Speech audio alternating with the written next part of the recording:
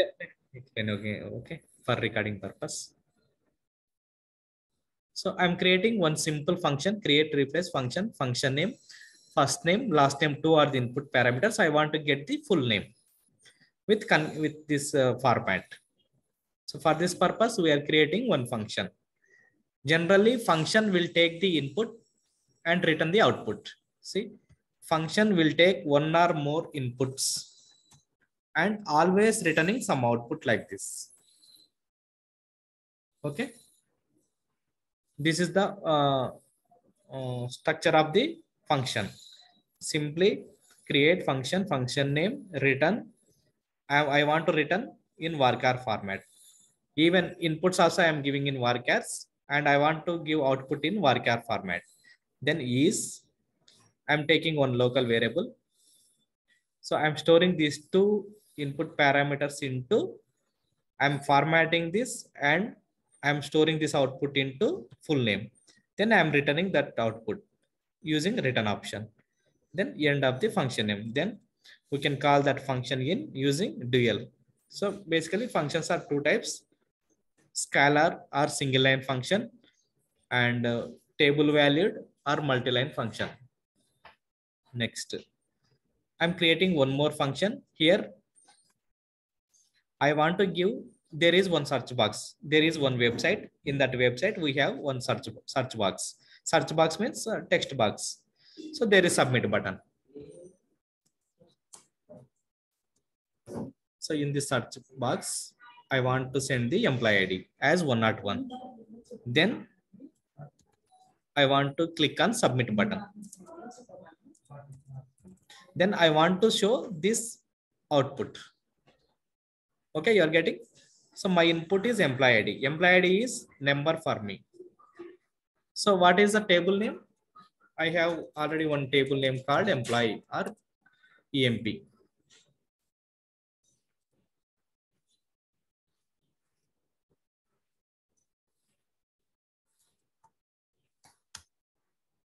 I have one table is hmm. employee. So I want to give 101. Then I need output 101 dash Sachin dash this salary. So this is the output I want to return. So for this purpose, what we are doing, create or replace function, function name. You can give function name is anything up to 32 digits. So this name could be in 32 characters length. Okay. So uh, to capital, to convert into capital, small or case sensitive like this, then you need to use alt colon. Alt plus this code.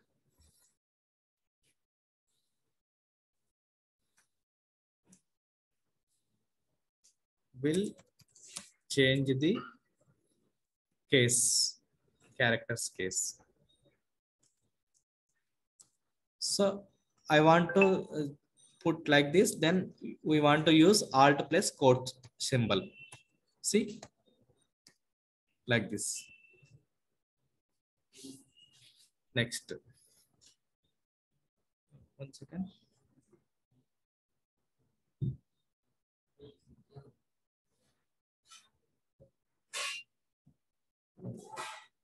Uh, Give me a second, I'm getting call.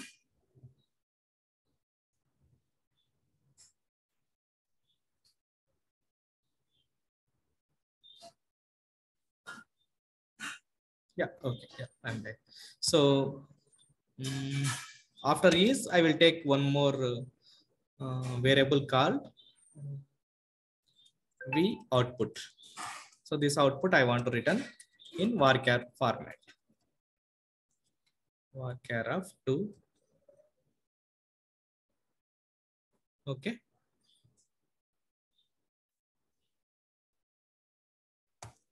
Then now I want to fill the data in this output uh, variable. Then I want to return this one.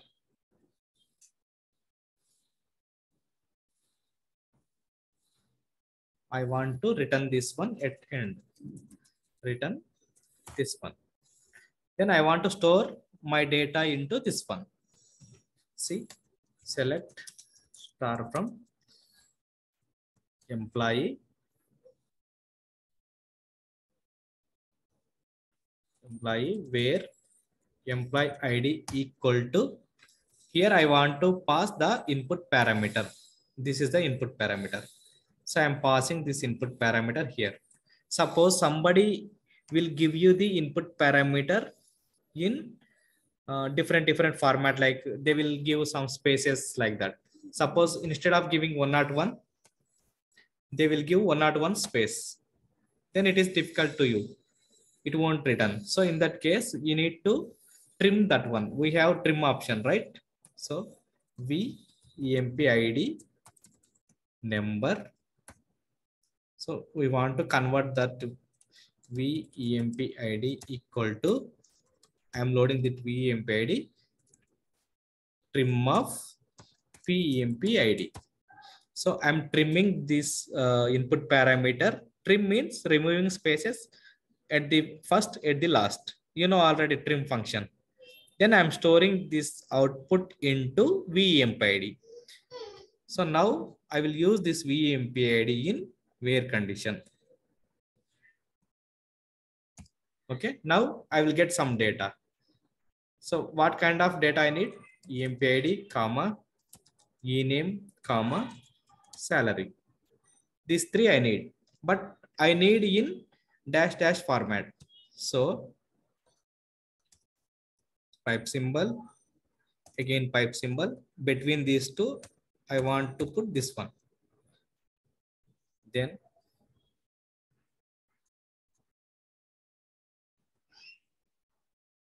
same. So I will get this output in this format. Then I want to store this output into one variable because I, I am returning this variable, right? So I am storing this format into one variable. That's it. Then I will create this function. Uh, single length constant must be in range. One second.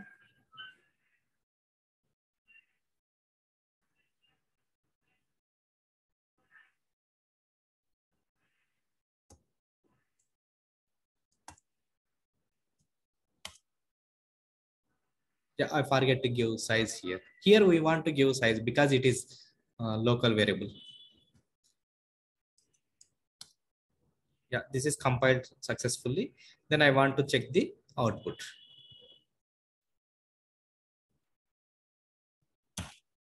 Instead of table i'm giving the oh, sorry. Select function name of i'm giving 101 from dual. Okay. As EMP info is column name. Okay, my employee information is 101 Sachin. So if I give 101, then I will get the um,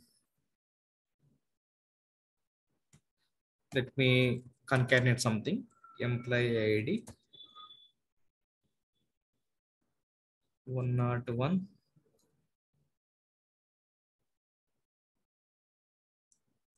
Data is I'm concatenating something.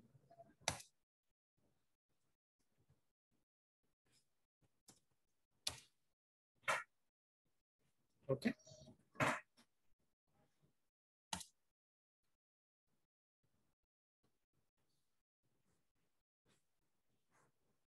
okay like this. Employee id 101 data is sachin and uh, this salary with salary. So this is the way we want to create the functions. So now uh, in that uh, website i can use this function. Okay this is the use of function. So websites are basically two types of websites will be there. Static dynamic websites. So static website means suppose if you see any uh, simple website, then the data we want to put in the HTML format. Let me create one HTML format.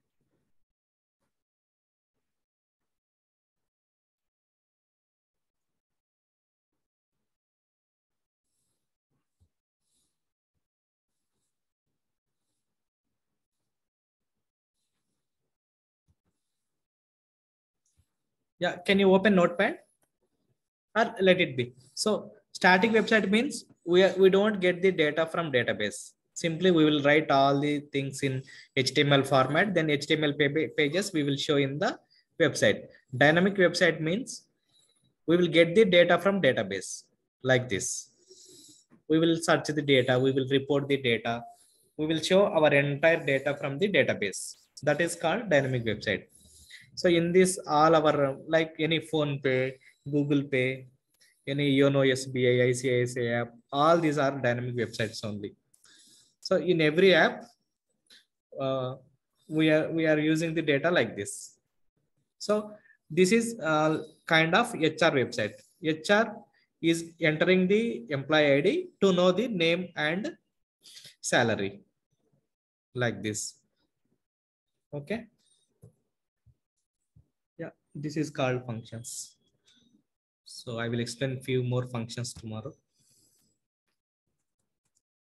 Functions means user defined functions. User defined functions.